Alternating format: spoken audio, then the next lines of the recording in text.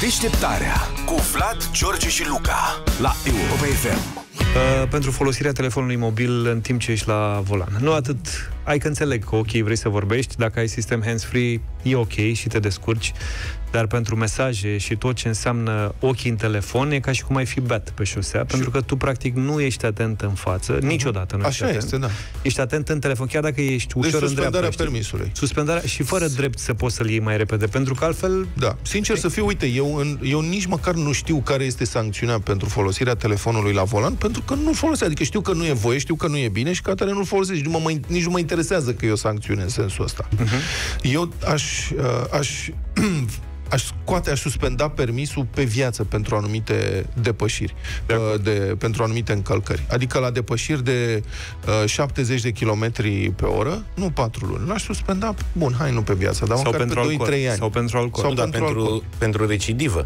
Pentru, ok, pentru Ar recidivă. Corect Da, anularea sau pentru alcool. permisului. Că nu e o întâmplare când Da. bei. Te bei intenționat și după aceea te, te urci la volan. Și atunci oamenii ăștia trebuie scoși de pe șosele. Pur și simplu ei sunt un pericol pentru mine. Sunt un pericol pentru mine. Eu circul normal pe șosea și vine unul beat, mă lovește, mă aruncă în șans, mă răstoarnă, mă mutilează, mă omoară. Și atunci de ce să-i dau voie să facă asta? Deci trebuie scos de pe șosele, pur și simplu. La revedere, pa! Ai făcut asta, te-a prins, nu mai ai dreptul să șofezi ani de zile, dacă nu chiar pe viață, în funcție de... Asta este o modificare pe care eu aș introduce. 0372 069 599 Sunați-ne să vorbim despre parlamentarii noștri care mereu relaxează codul rutier ca să dea um, mai multă putere ucigașilor de pe șosele și să vedem și ce propunere aveți. O mulțime de telefoane. Hai să începem. Începem cu Victor. Uite, stăm de vorbă cu el. Bună dimineața! Salut, Victor! Bună dimineața, mulțumesc frumos. Te rog. Uh, cele trei motive principale pentru ce se întâmplă pe șosele sunt uh, discutate și răzi discutate. Drumurile, băutura și viteza. Mhm. Băutura a rezolvat-o domnul Petreanu, am ace- fix aceeași opinie. Drumurile nu le rezolvăm noi acum la radio. Mhm. Viteza, doar vă dau un exemplu pe care îl știm cu toții. Bulgaria, Grecia, două țări nu neapărat recunoscute pentru duritate și pentru modul de aplicare a legii. Da. După ce s-au introdus uh, camerele video pentru viteză și calculul vitezei medii pe Exact. autostrăzi, Mhm. Uh, lucrurile s-au liniștit brusc, călătoresc mult și în Grecia și în Bulgaria cu serviciu Da. și sunt lucruri pe care le-am văzut schimbându-se dintr-o dată, de la un an la alt, de la o lună la alta, după ce au introdus Și eu uh, am camerele. observat același lucru, cât de civilizat a ajuns să se circule în Bulgaria. Nu mi-aș fi, n-aș fi crezut niciodată că e posibil acest lucru, dar da, așa este, confirm. Și Grecia, absolut. Deci camere video pentru monitorizarea vitezei și pentru calculul vitezei medii, asta merge pe autostrăzi, că pe drumuri, na, când poți să ieși oricând de pe drum, nu. Dar pentru autostrăzi, da. Nu? Am înțeles Absolut. bine. Și camera de, camera de lumina roșie a semaforului. Din nou, foarte utilă. Foarte utilă. Mulțumesc. Ok. Mulțumesc mult. Hai să vă dau, în timp ce între telefoane, să mai dau niște modificări. De exemplu, niște propuneri de modificări votate ieri în Comisia de Transporturi, da, de PSD, PNL, UDMR. Șoferii care acumulează 15 puncte de penalizare, fapt ce duce la suspendarea permisului, vor putea contesta în instanță contravențiile, fără ca termenul de prescripție de 6 luni de la primirea punctelor să fie înghețat. Adică, cum de cele mai multe ori acțiunile în instanță durează mai mult de șase luni, asta va duce la prescrierea punctelor și automat la nesuspendarea permisului niciodată pentru cumul de puncte folosind această portiță. Ați înțeles care e șmecheria? Tu îți dai seama că Băi, Băi, ce- iau niște specialiști Da, mă, în ce codul rutier, de perversi exemplu, Sunt incredibil. care găsesc fix Da. portițele astea. Da, mă, ți-l suspend, ai făcut 15 puncte, faci o mică acțiune în instanță, care e problema și trece timpul până că, a, și oricum se resetează. Iar chestiunea asta nu cred că o mai fac pentru popularitate. Știi că dau niște măsuri, pentru dau, ei, nu? dau niște bani Da. da. înainte de alegeri și așa mai departe ca să fie votați. Eu nu cred că asta o fac Nu. pentru popularitate, Da. ci pentru ei. Hai să mai luăm telefon. Asta mi se pare ușor pervers. Ionuț, bună dimineața! Bună dimineața! Bună Vă dimineața! ascult cu, vă ascult cu mare drag în fiecare zi și îmi faceți ziua minunată. Mulțumesc. Dimineața minunată mai ales. Uh, da, cum spuneam și cum spuneați și dumneavoastră, într-adevăr, părerea mea că una din probleme ar fi infra, infrastructura, cel puțin pe drumurile naționale, județene. Acolo trebuie să circulăm cu căruțe, cu biciclete, cu mopede, cu tot felul de trocariciuri dintre astea, cu motor și semiremorcă.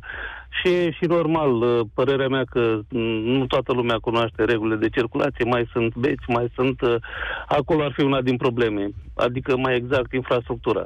Adică să fie infrastructură mai bună. Bun, sigur, da, asta o... e o chestie care se face prin lege. Eu întreb în codul rutier dacă ai putea să introduci o schimbare care crezi că ar crește siguranța pe șosele. Asta drumuri mai bune? Da, sigur, suntem cu toții de acord, da. Iar um, tot așa, părerea mea ar fi ca și um, pentru schimbarea codului ar fi da? uh, să se suspende de tot pentru băutură, din punctul meu de vedere, permisă. Uh-huh. Asta ar fi una din măsuri.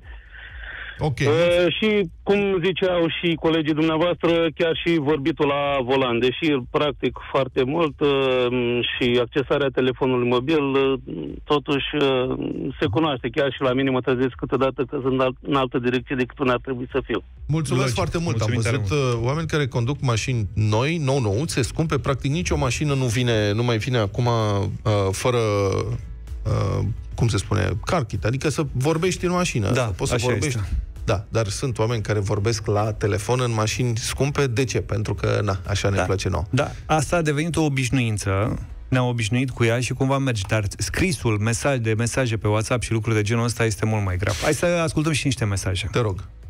Reneața Laurențiu din Bacău vă deranjează. Din punctul meu de vedere, alte măsuri nu ar trebui uh, adăugate pentru că avem destule. Din punctul meu de vedere, poliția rutieră ar trebui să-și facă treaba mult mai bine să, și să se dea acele amenzi care sunt specificate în codul rutier.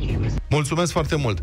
Iată o altă modificare votată ieri. Se reintroduce suprapunerea suspendărilor de permis versus cumularea perioadelor de suspendare a permisului. Mai precis, un șofer cu permisul suspendat pentru 30 de zile, dacă ar comite o nouă abatere, adică dacă e recidivist, da? în perioada de circulație cu dovadă, să zicem sancționabilă tot cu 30 de zile de suspendare, va avea permisul luat timp de 30 de zile, nu timp de 60 adică 30 plus 30 ca în prezent. Cu alte cuvinte, dacă ți-au luat odată permisul pentru 30 de zile și ai dovada aia, păi ești libertată să mai ai, faci câte ai 30 vrei. de zile că să mai, faci ce vrei Da, tu. că mai mult de 30 nu mai primești, înțelegeți? Altă Bravo. perversitate. Ovidiu, Neața. Bună dimineața, Ovidiu. Neața. Bună dimineața, băieți.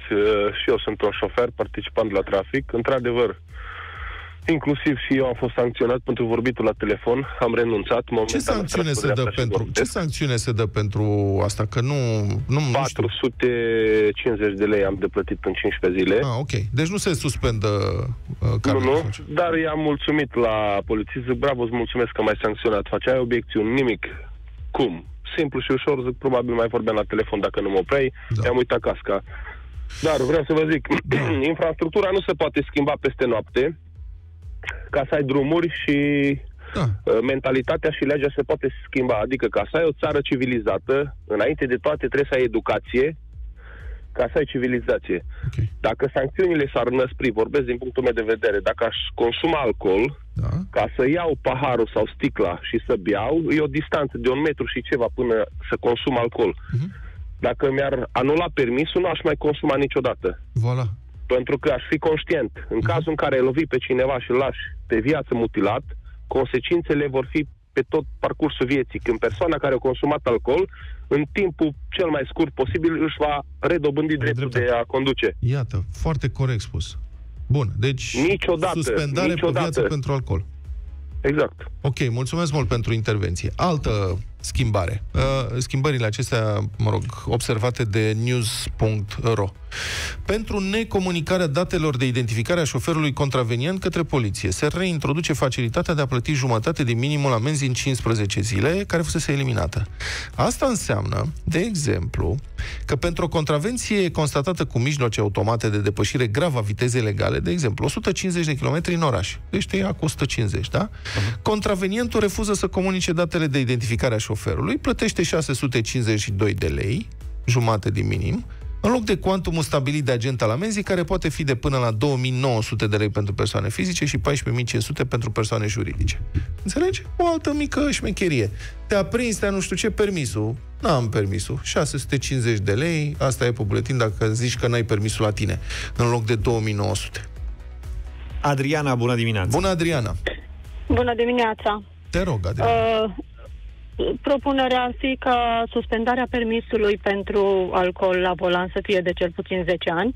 Okay. Și cel mai important, uh, cei care provoacă accidente din vina lor cu, cu, Consecințe cu victime grave, da. decedate, cu Da. victime decedate, nu ar mai trebui să poată să conducă niciodată. Corect. Deci ar trebui pe viață anulat permisul. Sunt în caz, fratele mi-a decedat acum 8 ani din cauza unui puștan de 19 ani care a intrat în depășire ne, neasigurându-se cu o viteză de 120 de kilometri la unde limita era 50 de oră și l-a omorât pe loc. Îmi pare Vreau să foarte spun rău. că a primit o, o pediapsă de suspendare de un an de zile. Dar uh, după 3-4 luni deja conducea. Cum privești tu toate aceste decizii recidiviste ale parlamentarilor care uh, ușurează sau, mă rog, anulează sancțiunile din codul rutier? Foarte, foarte rău. Foarte rău. Deci nu ar trebui... Codul rutier ar trebui respectat întru totul și sancțiunile foarte drastice, pentru că din, dintr-o secundă de încălcare a legii se poate întâmpla o tragedie. Ai încercat să Sper că vorbești ea nu se vreodată poate cu, reveni. cu vreun parlamentar, parlamentarul tău, să zicem, să-i spui, uite, văd ce faceți acolo. Haideți să vă spun experiența mea, poate astfel. Poate că ar fi o idee bună să faci și asta într-o zi, nu? Da, poate că ar fi o idee bună și poate că o voi face. Mulțumesc mult că ne-ai sunat uh, și suntem alături de tine. O altă modificare. Șoferilor recidiviști pentru sancțiuni grave. De exemplu, depășire de coloane oprite, trecut pe semaforul de culoare roșie, nerespectarea indicațiilor polițistului, bla bla bla bla, nu știu ce, mers pe sens opus pe autostradă, prioritate, toate astea, da? Consum de alcool. Li se reduce perioada de recidivă în care primesc automat o suspendare în plus de 30 de zile a permisului de la 6 luni la 3 luni. Adică ai comis o nasol, șase luni trebuie să fii cu minte, că dacă mai pățești în șase luni, dacă mai faci o nefăcută în șase luni, așa era. Ai spor de pedeapsă. Ai spor de pedeapsă. Acum e trei luni. Să fim mai indulgenți. Adică ce rost are să fii Să nu ți omul civilizat? stresat. Băi, fii civilizat șase luni. Nu, Șase luni e prea mult să Vine fii civilizat. sezonul Hai, estival. trei luni. Vine sezonul estival, e timpul să mergem din nou pe contrasens pe autostradă, știi cum e? Sunt incredibile Da. modificările astea. Sunt scandaloase, literalmente scandaloase. Radu, bună dimineața! Bună dimineața! Neața, Radu. Alo? Bună dimineața! Te ascultăm. O opinie a ta și o modificare, dacă vrei să propui. Uh, aș avea două lucruri de subliniat. Mai avem doar un minut, Eu să am- știi. Te rog. Ok, eu aș scoate instituția reducerii perioadei de suspendare. Ok. Sincer, eu nu înțeleg și nu știu dacă în alt stat există așa ceva, să dai o perioadă de suspendare pe care apoi să o, re- să o, să o reduci. În Sincer. anumite condiții. Fac școală, fac cursuri psihologice, Eu- chestii de genul Eu ăsta. am lucrat, am lucrat 13 ani pe rutieră, vreo 2 ani am lucrat exact pe chestia asta. Da. Deci eu studiam dacă cei care fac cererea de reducere beneficiază de acest drept. Hmm. Și, nu știu, mie nu mi se părea Ok. Și Nu al doilea prea- lucru pe care vrei să-l spui? Al doilea lucru, um, nu mi se pare uh, în regulă, nu știu, responsabilitatea poliției. Știu că există, dar în momentul de față poliția nu poate face mai mult. Uh-huh. Deci atâta timp cât trăim într-o era tehnologiei și ar trebui să mergem pe radare fixe, pe totul să fie supravegheat, Ok. adică s-a încercat atâta timp și nu s-a rezolvat nimic, mie mi se pare că pur și simplu nu mai depinde de poliție. Mulțumesc foarte mult pentru intervențiile din această dimineață. Încă o dată, modificările acestea făcute de parlamentari sunt scandaloase prin, și prin faptul că se repetă. În fiecare an avem niște încercări dintre astea de a mai relasa sancțiunile pentru cei care ne omoară pe șosele. Mi se pare scandalos. Deșteptarea cu Vlad, George și Luca la Europa FM.